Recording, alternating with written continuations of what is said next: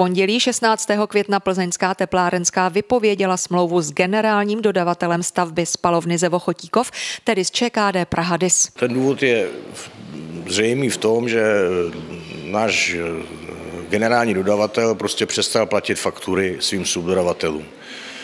Eh, my jsme samozřejmě tu věc řešili tak, že jsme se snažili a dodatkem číslo 3 jsme si de facto uvolnili ruce pro to, který jsme podepsali 5. května, aby jsme eh, ty platby mohli začít platit přímo těm subdodavatelům eh, mimo režim tedy, tedy té smlouvy. Suma nezaplacených faktur subdodavatelům se pohybuje v částce až kolem 120 milionů korun. To budete dál pak řešit po dokončení stavby, jste říkal.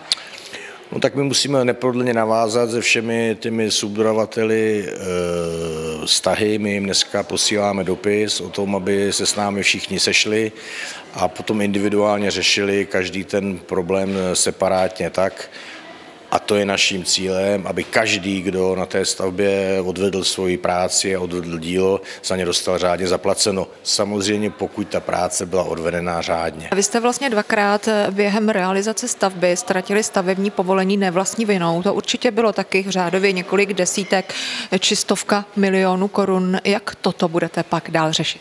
To je všecko právě otázka těch budoucích soudních sporů a nepříjemností, které nás čekají.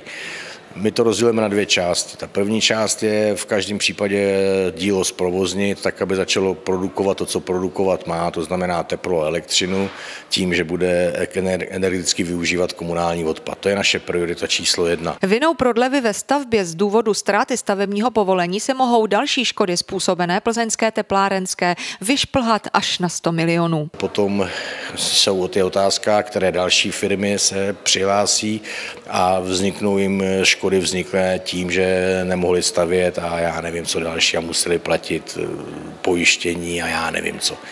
Takže to bude samozřejmě předmětem dalších jednání a pravděpodobně i různých arbitráží, sporů a dalších věcí.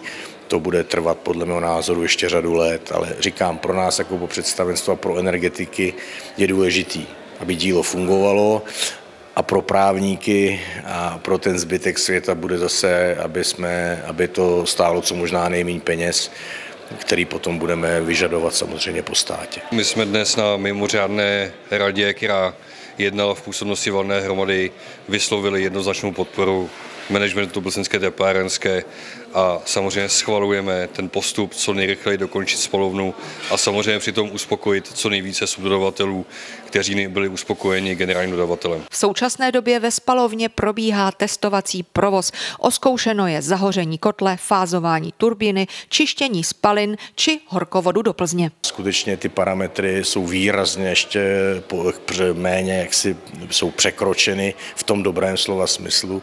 To znamená, ty zařízení fungují, fungují bezvadně. Zkušební provoz by měl na spalovně v Chotíkově odstartovat letos v září. Pro televizi Plzeňská jednička Marcela Durasová.